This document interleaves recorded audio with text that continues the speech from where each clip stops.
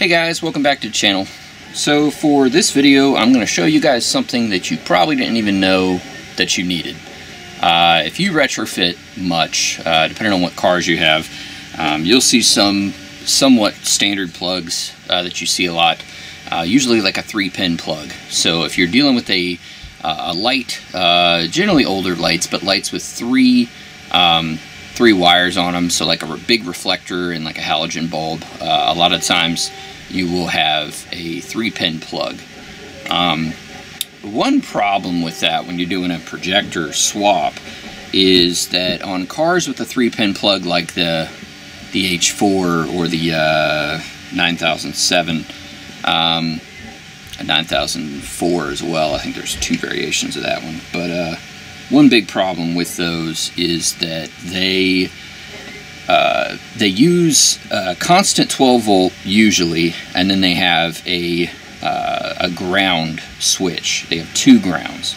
Um, and there's different variations. You might have one that has a constant ground and then two 12 volt switches. But uh, yeah, whatever the case is, the problem is that they turn on one of the grounds for high beam then they turn that off and then turn on the other ground for low beam.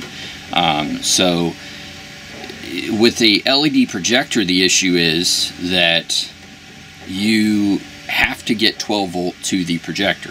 So let's say you tie in the driver for the projector with 12 volt to the uh, the low beam and then you flip your high beams on, what's going to turn that projector off. So while it will actuate the little flapper inside the solenoid uh, to open up the projector, it will turn off the LED. Um, now, the most common workaround for this is usually like some kind of a harness uh, that you can get from uh, like somebody like Morimoto. Um, which will tie in with the system. They'll add a couple grounds. They're usually meant for HID, so they're a little bit beefier, and it adds a whole lot of wiring and complication to the build itself. Uh, there is a workaround for that, especially with LEDs. Uh, I have not tried this on HID, so I, I, don't know that I would recommend doing it. Uh, theoretically, at HID is 35 watt, uh, up to 55 watt, I, I think. I, I, don't know if they go much beyond that. Um, whereas LED projectors, they're usually even higher than that. So I, theoretically, it should be okay. But I know it's a it's it's a pretty big uh, initial draw of power. So I, I, I don't know that I would try it on HID. But LEDs, I do it all the time. I don't have any issues. So I'm going to show you how to create a harness like this here. You see, it's pretty simple. The guts of it are right here. Very small, fits in between my fingers not much to it.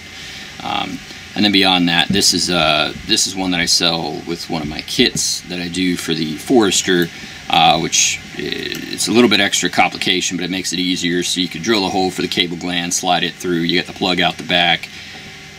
This plugs into that, and then this goes inside the light along with the driver itself, and quick connects for that as well.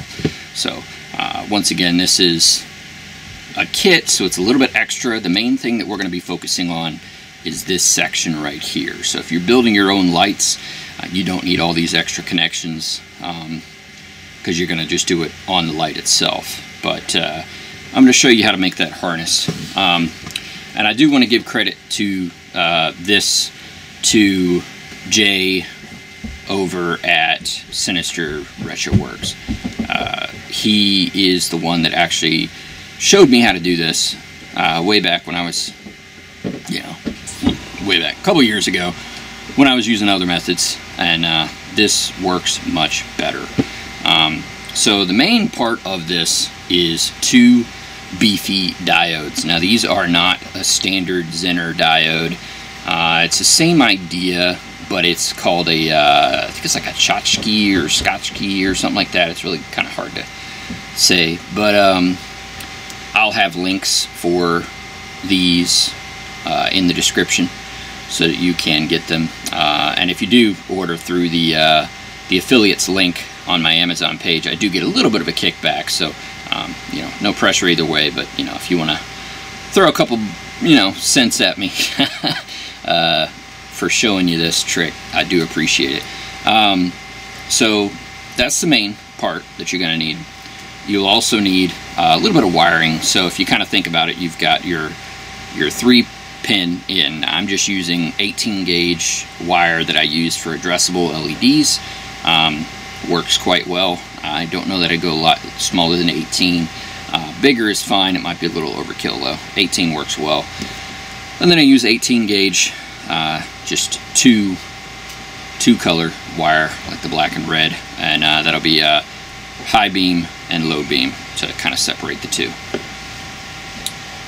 And then beyond that, I'll have a little bit of shrink tubing um, to go over top of the wiring and keep everything safe.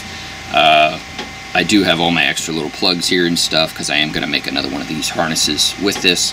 Um, but that's that's kind of all more optional. I mean, obviously you're going to have to have the plug that matches your car. Um, you can get uh, versions of these that are already wired up if you want to use that, or you can get uh, kits like I do. Uh, I like to crimp my own, so I get the the pins and I get the the plugs and I make it all. I, I do have these as well, which I don't do them nearly as much as I do the H4s. I, I see these a lot, especially on the Foresters. I do tons of them. Um, and then obviously, like I said, I am doing uh, JST connectors to make everything just easier to connect within the car. So I do have some of that stuff too. But uh, the, the key components that you're going to need are the diodes. You do need two for each light, so you'll need uh, four total for a set of lights. And then uh, your basic wiring and shrink tubing. And that's the, the guts of what you're dealing with here. Uh, and then obviously whatever LED projector system you're using. Uh, these are the two and a half inch that we sell on the site, which do have the external driver. Uh, if you were to use a three inch, uh, the driver is built into the projector, so it's a little bit of a different layout. Um, in addition to that, some tools that you're going to need, um, something to strip the wire with. I, I, like wire strippers, it just makes life a little bit easier, but you know, obviously if you have other methods to strip the wires, that'll work fine. Um, crimping devices of sorts. Um, I use these for the larger uh, pins. These are kind of nice because they uh, actually have interchangeable heads. So um, that was a kind of nice kit. Uh, tell you the truth though, I use this head 99% of the time. So yeah, I got all them extra heads, but I don't even use them. But uh, nice tool. I think this one was uh, I IWISS, IWISS, something like that. Yeah, it works pretty good. Um, this is another one that I use for my JSTs. Uh, I just find that it works better than any of the heads did with this one because um, it gets a little bit smaller, uh, but it doesn't work for a whole lot other than the, the JSTs. So that's one that uh, uh, another IWISS IWISS brand. Uh, and then just some kind of wire cutters and some kind of a like pliers of some sort. You're also going to need a soldering iron uh, and a heat gun or a lighter to shrink the tubing. Um, so we'll get into this. So you have your diodes here and uh, basically the way that these work they are a one-way electrical circuit. So the, the power can pass through uh, this way, but it cannot pass back through this way. So the idea is that we want to run our three wires. So you're going to have both grounds in this case because I'm doing a Forester. So I have one common 12 volt and two grounds that are on switches. My grounds will go in this way. So they go in and then they will come out on this side so what I will do is I will twist this one together, twist them together just like this, and that way we have high ground, low ground, ground to the projector, and that way it'll go this way, but it won't backfeed, and that's the important part here. If you were just to splice the high beam and the low beam power wires together, uh, you create some issues on the car. You don't want to do that. Um, so this is the way that you want to do it, something like this, or uh, like the Morimoto harnesses or something like that. Um, but you can see, just splice them together, just like that. And I do like to stagger the diodes. That way it's, it's, it's a little bit tighter. Uh, if you put them side by side, it just, it makes it bulkier. Um, so I do like to do it like that. Now the next part, take our three pin wire here, uh, snip off a little bit of that, remove a little bit of that uh, sheathing on the wire there.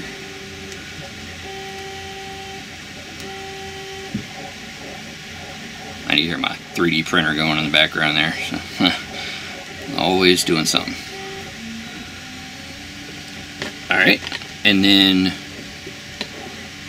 we are going to have uh, the shrink tubing here. So I'm going to cut out three little sections of that.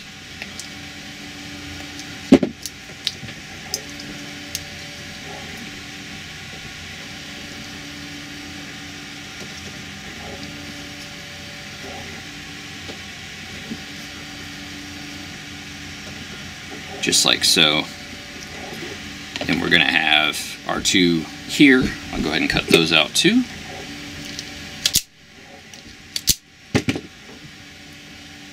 So the first thing I want to do is connect all of my power wires. And once again, uh, this does depend on your car. So this is by no means uh, the diagram for every car using an H4. Uh, H4s do actually vary. So uh, some of them could be uh, power switches, some of them could be ground switches, some of them could have a completely different diagram layout of how the pins are on the face. Um, so it will vary by the car, and you're going to need to know uh, the car that you're running and what order the pins are on that car. But uh, in the case of the 03 to 05 Forester, I'm going to go ahead and connect my powers together because the power is the constant. The grounds are the switches. So for that, take a little bit of the thicker shrink tubing here. Just put that right over top. And then I'm going to take the red wire on my 3 pin and connect that. Now basically all that's doing is the this will be my 3 pin side.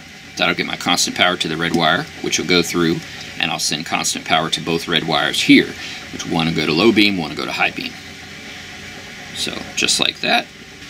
And then I'll hit that with a little bit of solder. Just like that. shrink coat tubing goes right over top. Next up, I am going to go ahead and attach my high beam ground to this side of the diode. If you attach it to this side, it means every time you get low or high, it will turn on. Um, the way I do it, the diode that's further back, I make my high beam, and the one that's further forward, I make my low beam. And that way I can take this wire, attach it to that side, just like so. So you can see I've got it wrapped around there. Slide that back down as far as it'll go. Then next up, I will attach, um, and you know, what color you want to use is kind of up to you. I'm going to use white as my high beam. And I will attach that to that side. And you want to try to make it so that everything is just sitting, you know, you don't have any wires bunched up or anything. So just like that, I'm going to hit that with heat, uh, with the uh, solder as well. Just like that.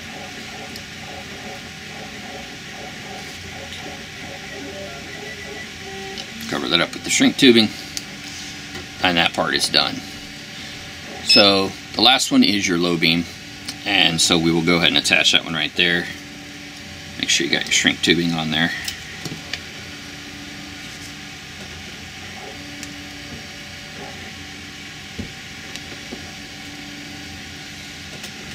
And that just wraps right around that last pin there. And hit it with some solder as well.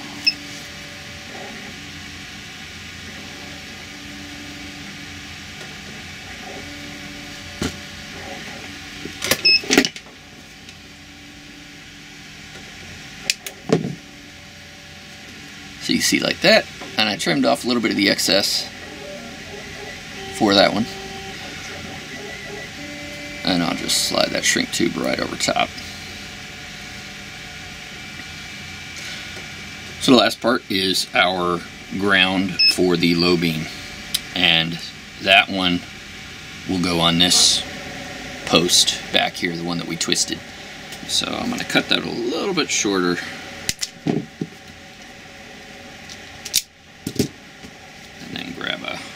some of the thicker shrink too on that one.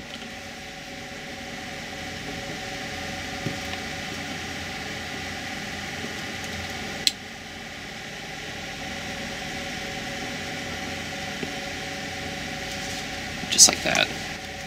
And there it is. So we got the the whole circuit right there. That's that's all it was. It's uh it's it's not too complicated. Uh, the biggest thing, and, and I get this messed up a lot, is is remembering which way the power flows. Because uh, if you get it backwards, nothing's going to work. So I'm going to hit this with some heat on the shrink tube now. So just like that. And then uh, I will go ahead and connect that to my uh, LED driver. Um, so just remember, your low beam was the one coming off of both diodes and the high beam is the one that only goes to the one diode on the front side. So low beam is here. I'm going to cut that one just a little bit shorter. For this case and you're going to want to consider your light as far as you know how long you want to make your wiring. Um, on the Foresters it, it just works better if I kind of stagger the high versus the low and then I can move the driver around inside the light. So there we go, went ahead and attached everything else, got the shrink tubing over top of this, I'll hit this with heat, hit some heat on there, and then I've got the driver connected here, the high beam is connected here. So now you can see with the projector, all I do is I connect my constant 12 volt and I'll hold my ground here. So power is on, and you can see I have low beam. And then when I remove that ground and go over to my high beam, I have ground, or I have uh, the low beam and the high beam active at the same time. And it will not backfeed, so I don't have to worry about any issues on the car or any other problems, you know, lights on the dash or something like that. Uh, this should make it all work properly. Uh, unless your car has some kind of a resistance uh, measurement or something like that, then you might have an issue. But uh, uh at least on the Foresters, this works pretty good.